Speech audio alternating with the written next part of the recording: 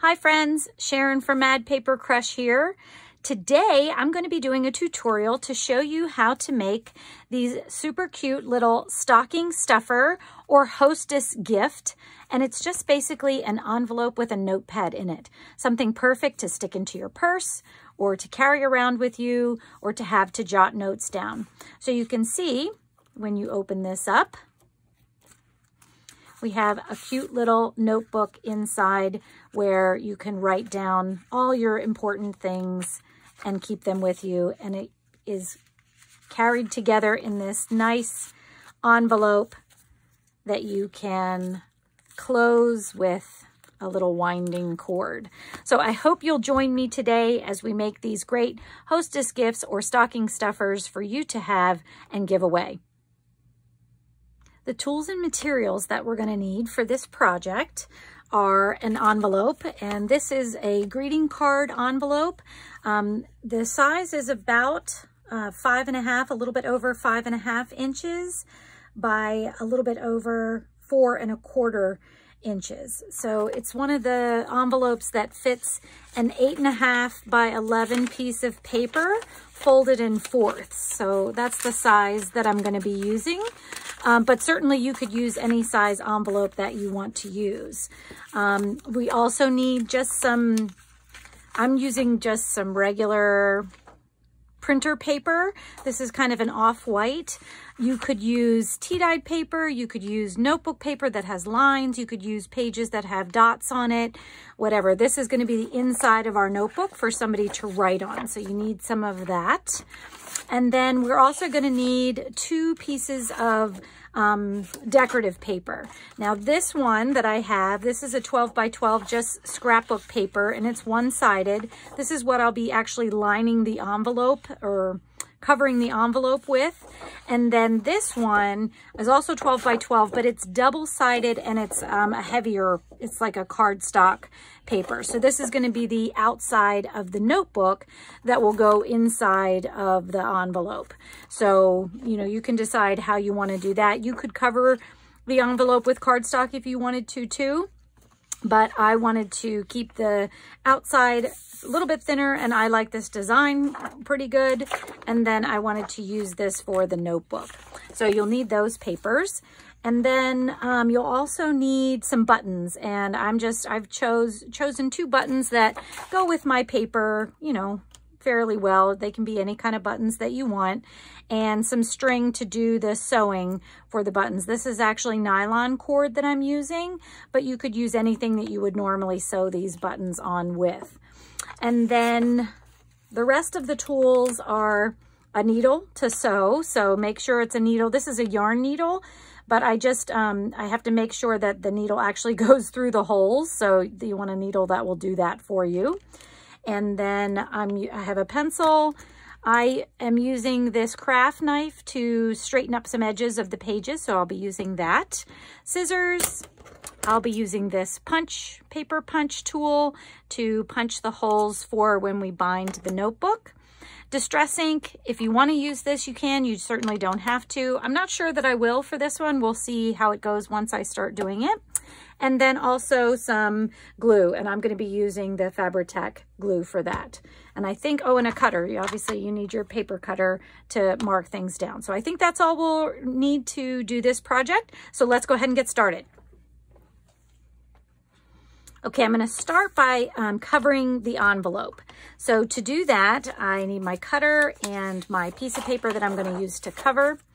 And I'm just going to measure with my pencil to give myself a border that I want. So I'm going to do the back first. So I'm just going to line this up side to side and make a mark and try to get it even. I, I did notice in the couple that I did already, um, the envelopes aren't always straight. so you kind of have to watch that. So I'm just making a little mark because that's how wide I want it. And then I'm going to do the same thing so that I know how long I want it to be. And I'm just trying to do a, a pretty small border. I don't want it to go all the way to the edge because I don't want it to go over the edge and, you know, possibly start to come away, to peel away. So that's what I'm doing there. Now I have to find my marks because that's, you don't, you know. And all I'm going to do is I'm just going to try to go up to just about where it is. So I'm not cutting the entire paper across. I'm going to try to conserve as much paper as I can here. And then I'll do the same thing. So this is going to be my back piece here. And I think that worked out pretty well. And I'm going to cut all my pieces before I do any gluing, just so we have it all done. Um, now for the flap, the top flap here, what I'm going to do is I'm going to line it up, giving myself, once again, a little bit of a border. And, and you can see how this envelope, it's not even even. It's not, it's not even even. it's not even. But you can see how wide this side is and then how small this one is. I don't know. These envelopes are crazy. I'm sure they weren't real expensive. Maybe that's why. I don't know. but all I'm going to do is I'm just going to very lightly trace the edge of this flap so that I know how far I need to cut. And when I cut, I'm just going to use my scissors and I'm going to cut giving myself a border. So I kind of had decided maybe, I think it was like maybe a 16th of an inch or so is kind of the border I was giving myself. So I'm just going to cut inside that pencil line that I made, giving myself about that same border so that it will fit inside the flap, not go over the edge of it. So let's see how I did. And then usually what I have to do is, you know, straighten things up um, that I've either, you know, gotten wrong or, or did wrong there. So actually that looks pretty good, except for possibly down here. I might need to cut it a little bit more from this edge down. So I'm just going to cut that in a little. Let's see how that looks on that side I think that looks pretty good. Actually, now I think the whole thing looks better. So you can see how I've left myself a teeny tiny border, just so you can see a little bit of that envelope there. Okay, so that piece is done. And then um, the next thing I'm going to do is I'm going to do the front cover here. So once again, I don't know why, but these envelopes are not real even. You can see here how that's kind of got that weird shape there. And I'm probably just going to go over that a little bit. I'll show you how I'm going to do it. So what I'm going to do first is I'm actually going to cut this piece of paper down, this little piece that I already have started. And actually, I think I'm going to need to do it this way here so I know how long to make it. So I'm just going to cut a piece that wide. Once again, I got to find my pencil mark.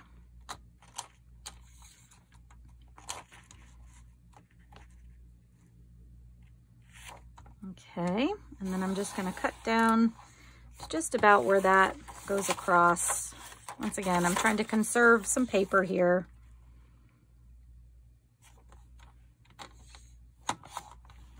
Okay, move that out of the way. And then what I can do, I'm going to double check because I do have a little bit of a cut in my paper here. So I'm going to see if I can cut that off, which I absolutely can. Okay, so before we do this then, I'm just gonna cut that bottom part off since I have a little bit of a cut there and I don't want that to show up on my envelope here. Okay, so now what I'm going to do is I'm gonna take this and slip it inside here. And I wanna make sure it goes all the way down because we want it to fit down to the bottom. And then I'm going to, once again, trace the edge of this envelope that I want to use. And, I, you know, it has this weird little thing here. And I probably won't cut exactly that way because I don't really want that to show too much. And then once again, I'm going to make sure I cut on a border with a border inside that line that I made. And then if I have to cut a little piece off the bottom, I will do that as well.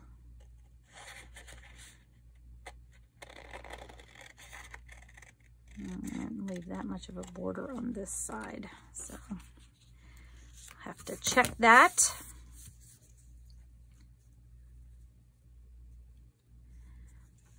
Okay, everything looks pretty good except for this side. I need to cut a little bit more off that side, which I had kind of figured because I didn't quite go as inside of the line as I did on the other side.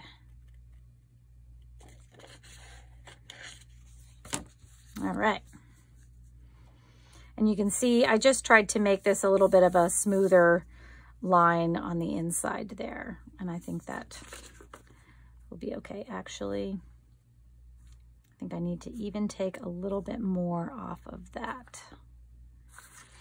But just down here.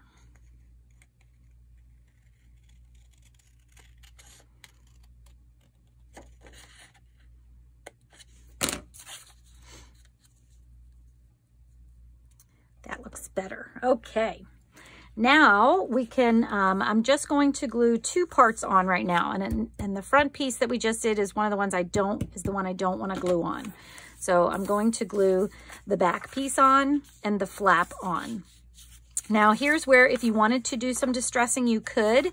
And I'm not going to do a lot of distressing. I think I'm just going to take my, um, my distress ink and just put it along the edges where my cuts were so that if there's any kind of white showing that I'm just knocking that off a little bit, but I'm not gonna, I'm not gonna really go in and just distress it too much. This paper that I'm using is, is distressed enough, I think, for this. Now I'm gonna be using my Fabri-Tac here and I'm gonna do the flap first.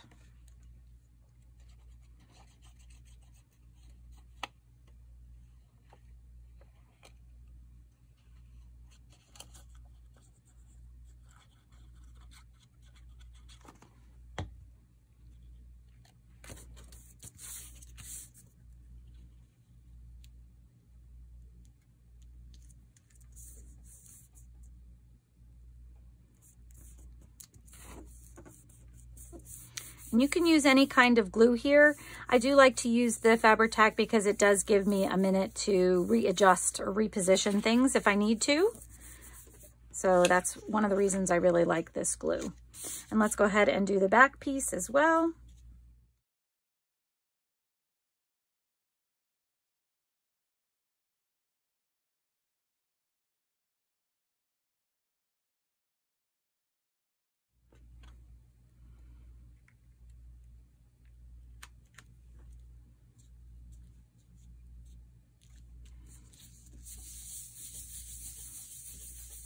Okay, now we have our envelope partly done. Now the reason I waited for this one is because I want to be able to put the button on this one before it gets glued down because it would be hard to sew the button on if I had to do it inside of this envelope. So I'm going to wait to put that down until I put the button on. Now, before I do that though, I want to just kind of line this up where I might want to have it so I kind of know where I want my buttons and I can mark that on my paper. And looks like this paper might just be perfect to kind of see, if you can see that little design here, this might be perfect almost right inside of that design. And then this one should be up a little bit there. So I'm just going to make a little mark for the one above and I almost don't even need to do the one down here because I want it to be, I think, right inside this little design. So, but if you, you know, don't have a paper lined up like mine did this time, then you can just put a little mark here too, so you know how low it is. Um, you want to be sure you don't have it too high that you can't get the envelope open. You know, you want to have it down just a little bit from the edge of the flap so that it, um, you know, can open without obstruction there. Okay, so let's get on to the next step. Okay, so for stability, what I'm going to do is I'm going to take this little piece of scrap cardstock that I had in my scrap bin, and I'm going to glue this to the back side of this paper. Since I'm not using cardstock to cover the envelope, um, it's a little bit flimsier than I would want to, you know, when I'm sewing on the button there. So I am just going to put a little piece of cardstock here um, for sturdy, to make it sturdy. And if you are using cardstock, you probably won't need to do this. And we just need to be sure that when we glue it down, you know, it actually goes where we're going to be gluing our button. So I'm pretty sure it's going to be about right here. And once again, my Fabri-Tac gives me a little bit of leeway time to let that go. Okay, so we're gonna just let that set up for a minute so that it's nice and dry. And then we'll, actually we'll let that go and we'll do the top button first. So what I'm gonna do is I'm gonna take my nylon cord that I'm using. You could use um, string or thread of some sort if you wanted to. And for the top button, I'm going to cut this pretty long because this is what I'm going to use for the winding part to actually close. So I'm going to cut this, I, don't even know how long, but I'm not going to do a whole lot of sewing. Let's see, this is probably about two and a half, maybe three, three feet long or so, something like that, just about. And you can always cut it down later, obviously. And I'm going to thread my yarn needle. And then all I'm going to do is I'm going to try and put my first um, hole through there so that I can line up my button here. And I'm just basically going to, to sew a crisscross in here. I don't want to get too fancy. I don't want to have too much, you know, string that's going through. And I'm leaving myself a little tail so that I can tie things down. And actually, now that I've gone um, through one set of holes there, I am going to just tie this so that it stays in place. So let's go ahead and just put in a double knot here, if I can do that while I'm videoing.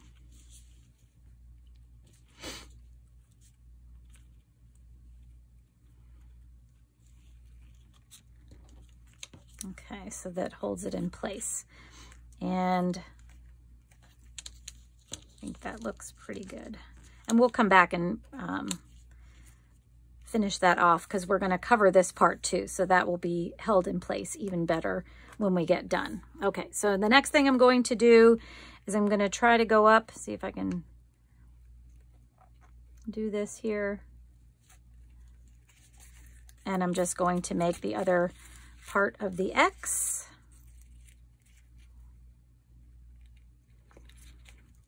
And like I said, the this sewing part, yes, it does hold it on, but it's really more for decoration more than anything.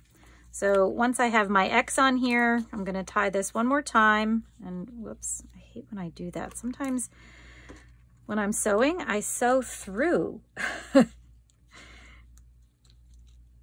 the other piece there. So let's see if I can figure out how to get that out. Okay, sorry about that, friends.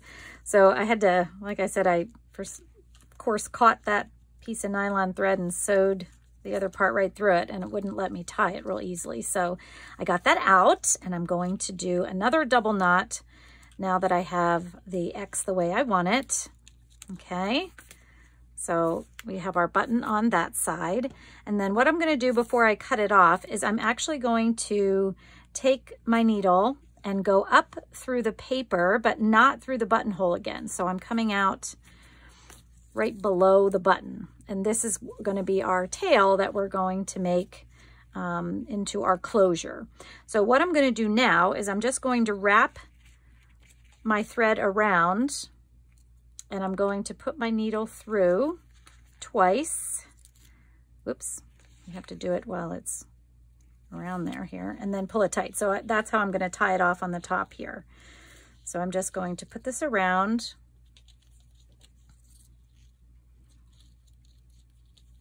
and put that through once and then put it through twice. So I have a double knot going there. And then I'm just going to pull it real tight so that the knot goes underneath there. Okay. And then we're going to leave this long. So we'll probably cut it down once we get the other button on and we see how much space we need. But we're going to leave this on because that's going to be our tie.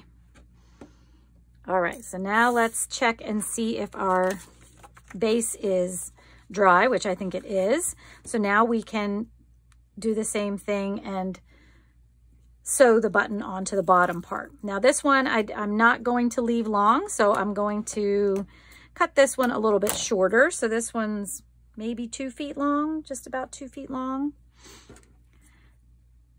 But I don't need as much because this won't have any tail ends sticking out or anything. We're going to do it the same way.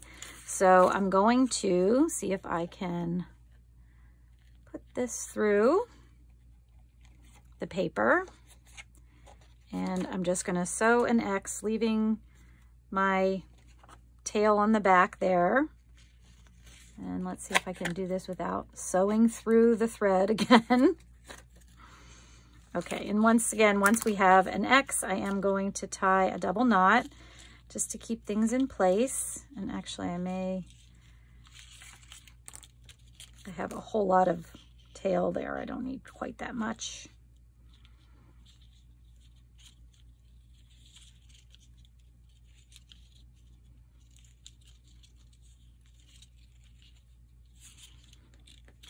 Okay, and then we'll go ahead and put our other X in.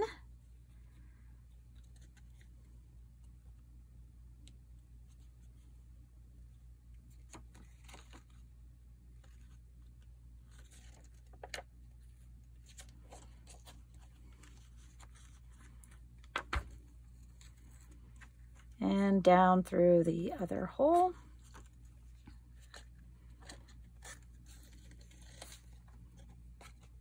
And now we have our button sewed on this one. And now I'm going to do the same thing. Let's give it a nice double knot to secure it.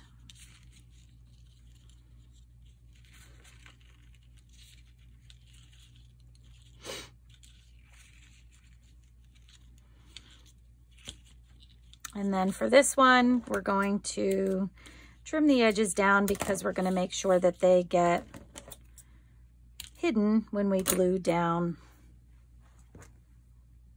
the cover portion.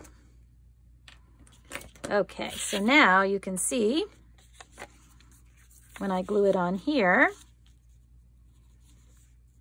I'll have my ends hidden, which I'm going to cut this one down a little bit more to make sure it doesn't stick up because that would be my luck. And I'm just going to do the same thing. I'm going to glue this down. And when I do, I am going to make sure I put a little bit extra glue around the knot of the button um, and along the edges just to be sure that we get those um, secured down real well.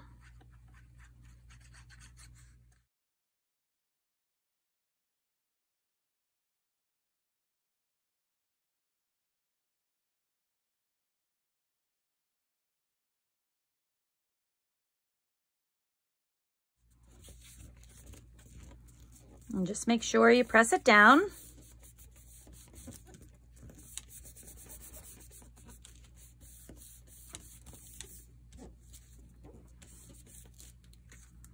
And I'm going to set this aside to give it a minute to dry. We're not finished with it yet. Um, but then I'm going to work on the notebook part so we can get that part done. Okay, so for our notebook, now I had said that this envelope holds a regular eight and a half by 11 piece of paper folded in quarters. But because we're gonna make this into a notebook that's a little bit thicker, we want our dimensions to be a little bit smaller than five and a half by four and a quarter to make sure that we leave enough room for um, the thickness of our notebook. So what I'm gonna do, I already cut some of these papers, but I'm gonna cut my inside papers and I'm just using plain printer paper. You can use whatever you'd like here to write on. You could even do it a junk journal style, you know, if you would like to do that as well. So what I'm going to do, instead of cutting it down five and a half, I'm actually going to cut it down about five and three eighths. That's gonna be the height that I would like here. And then I'm going to make sure my other side is the same width. So there should be just about a quarter of an inch that we're cutting off of these pieces of paper. And now for my notebook, I cut five pieces of paper.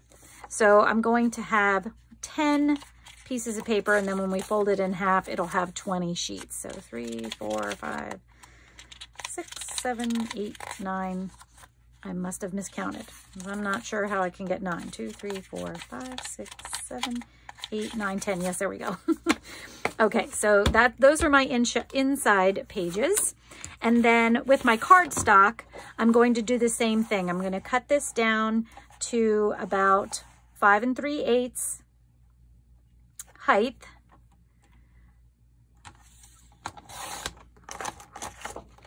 And then the width I want to be now, normally it would be eight and a half, but once again, I'm gonna cut it down to be a little bit less than eight and a half. So normally it would be eight and a half. I'm gonna cut it down to eight and three eighths.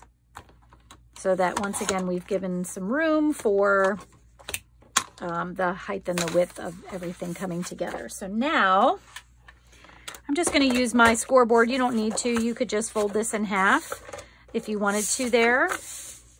Um, just find it easier if I can score things. So because I cut it a little bit less than eight and a half, I am just centering it on my board so that I have um, a pretty even space. So I'm going to mark it at eight and, or I'm sorry, four and a quarter, and hopefully I did that right. We'll see once I fold it. Well, it's pretty close. I may have to cut things down a little bit, but I think that looks pretty good. So this is going to be my front cover of my the notebook that goes on the inside. And then all I'm going to do with these sheets is I'm just going to fold them all together at once. And see how they fit inside here. And they should fit top and bottom pretty good, which they do. But you can see I have all of this um, stuff sticking out on the end because it's pretty thick. So what I'm going to do is I'm just going to hold it all together and using my ruler and my craft knife, I am going to try to cut all of that extra off. So, and I'm just going to make sure that I have it pretty well secured inside of the cover so that I know I'm not taking too much off. And I'm just going to line this up with the end of the cover. And I'm going to do this in several strips just to make it easier on myself. So I'm just going to keep cutting through until I don't have any papers left at the bottom here. And there we go. So now we have our notebook nice and straight. I can get rid of these schniblets here. And then what we're going to do is I am going to corner punch, I think, my notebook. You certainly don't have to do this, but I think I want to have the ends a little bit rounded here. So I'm just going to take these and round the corners of both the cover and the inside pages. And I'm just going to do a couple at a time.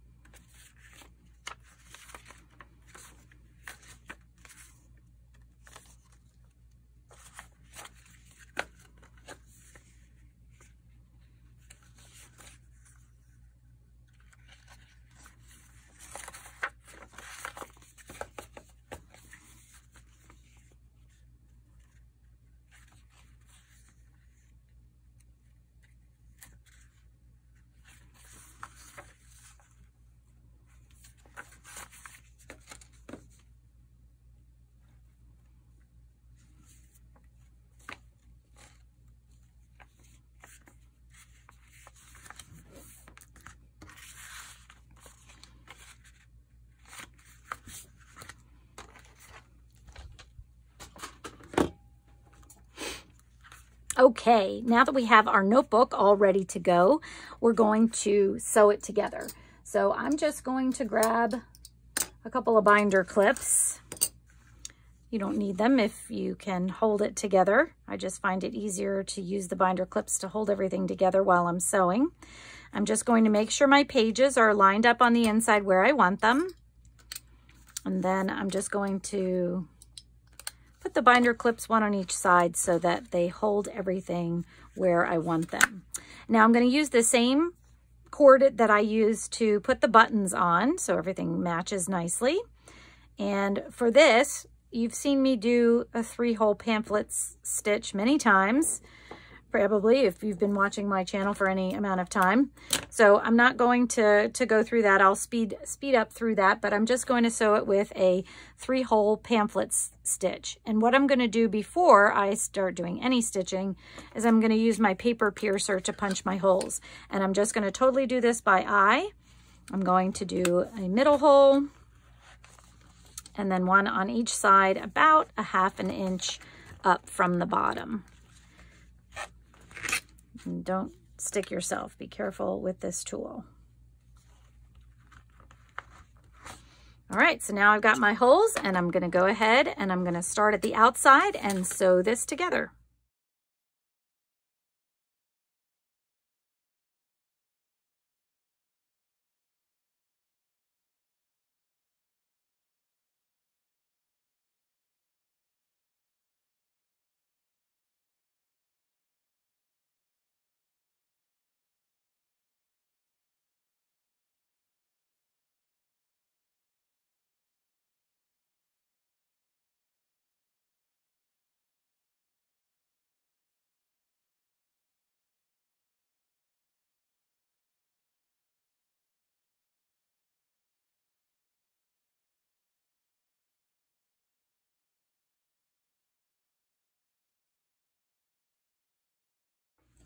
Okay, now that we have our notebook sewed and ready to go, we are going to go ahead and finish the envelope. And all we need to do is we need to cover this inside. So you can cover it with the same paper that you used for the outside paper if you want, or you could use something a little bit contrasting. I'm gonna use a little piece of contrasting paper just so that it, you know, shows the difference there. And I think this is, this was just a scrap that I had in my bin and it fits pretty good right down in there. And you don't need to go all the way down for this one because we really just want to be sure the top flap is covered and enough is covered down here to go below the notch there. So I'm just going to slide it in until it's down below the notch. And then I'm going to, once again, with my pencil on the other side, mark where my flap is and then cut that out. Once again, giving myself a little bit of a border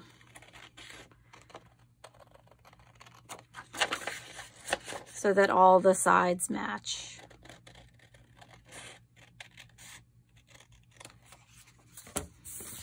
Let me just make sure that's going to work.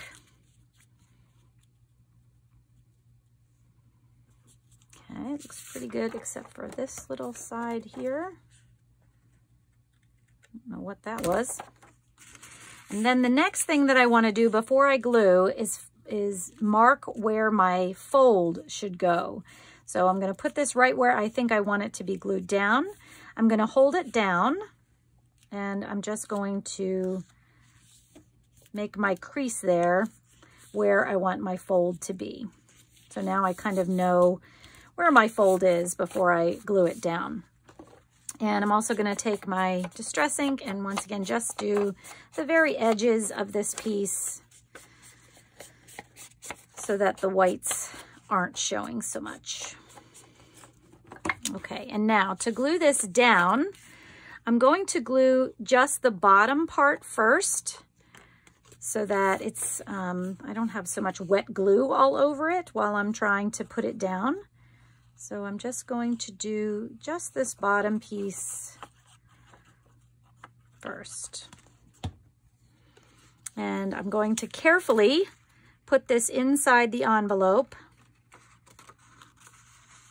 and try to get it down to where the fold is. So you can see there. And then I'm going to press it down now that I've got it where I want it on there. And then I'm just going to glue, which my glue is bubbling over. That's good, I can use that. I'm gonna glue the flap down now as well.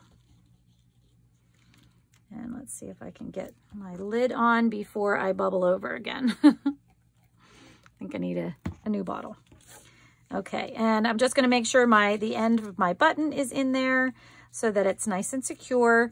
I'm gonna push my paper down around the knot there to make sure it's all secure. And then push the whole thing down.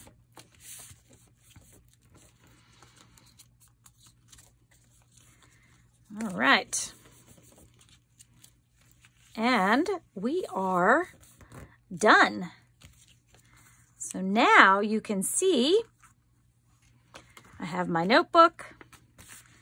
And once again, I may put something over here, but just for time's sake, you could leave it just like this. My notebook slides right in my envelope. And then I use my cord here to close my envelope. And I think this would make a really nice hostess gift or stocking stuffer um, or even, you know, just something nice to give to a friend to have in their pocketbook to have a notepad to write things down. Oh, and the last thing I wanted to mention is you can see I have way too much string here, so I am going to cut this down so that we don't have so much string hanging around. and there you have it. Thank you so much for watching, friends. I hope you enjoyed this little tutorial. I hope you have a great week. Please subscribe to my channel if you aren't already. Give this video a thumbs up if you liked it, and I will see you in the next video. Thanks so much, friends. Bye-bye.